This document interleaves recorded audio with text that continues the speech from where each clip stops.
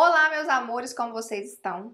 Hoje eu vim aqui falar para vocês sete tipos de mulheres que você precisa fugir para bem longe, sai de perto. Se você vê qualquer sinal desse aqui, foge que tá indo pelo caminho errado, tá?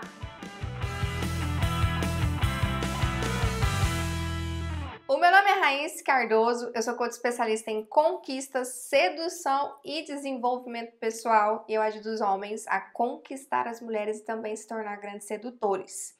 E hoje eu vou falar uma coisa aqui para vocês. Eu vou falar sobre as mulheres perigosas. Eu vou falar sobre as mulheres que você precisa fugir, que você precisa correr para longe, tá? Que essas aqui Ai, gente, é complicado e tem muito, viu?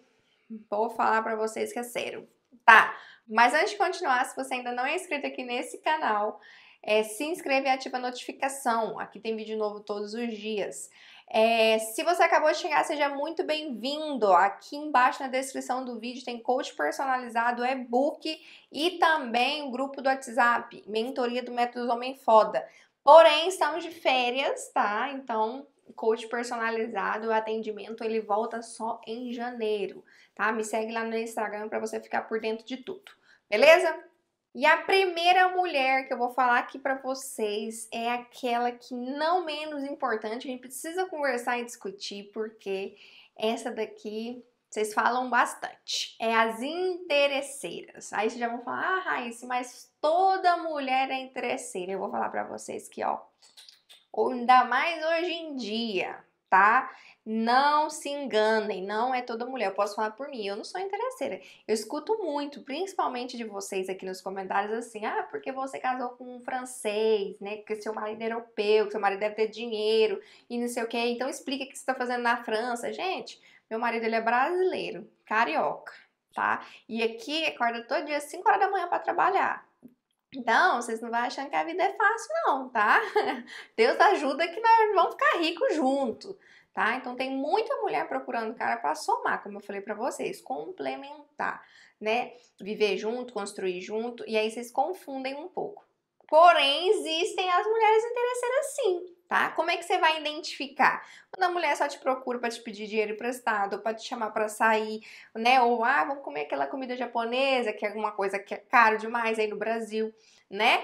Então, Aquela pessoa que quando o cara desce que esse baldinho lá de uísque, champanhe, não sei o que lá, a mulher tá lá em cima. Aquela mulher que todo dia tá com cara diferente, aquela mulher que tá tentando dar golpe, né? Então, esse tipo de mulher interesseira existe sim, a gente tem que tomar cuidado. Inclusive, tem um vídeo aqui no canal, acho que sobre as mulheres interesseiras, alguns sinais que você pode assistir lá para você ficar esperto. Porque tem muito e é difícil a gente identificar, tá?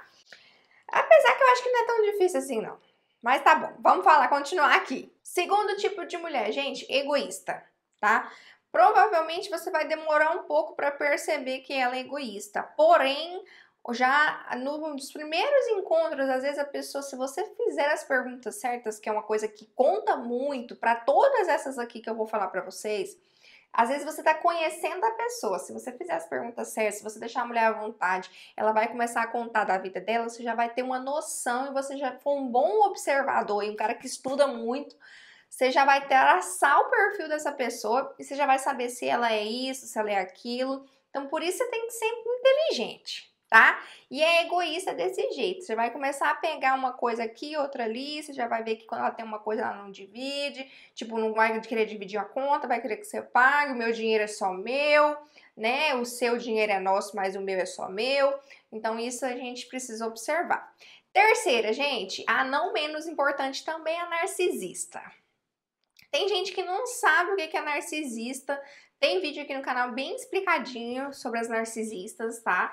Mas é aquela pessoa que é manipuladora, que ela vem com outras características como dramática, abusiva, possessiva, né? Então a gente é bem baixo, mais uma vez, como eu falei, para identificar, você precisa ficar esperta, a pessoa dá sinais, tá? A próxima, gente, é a quarta. Essa daqui também você vai conseguir identificar fácil, por quê? Aquela que fala do ex em tempo todo e que vivia de relacionamento a relacionamento. E ela fala de um, fala de outro, e compara tu, e fala de um, fala de outro, e contou uma história, e fala de novo.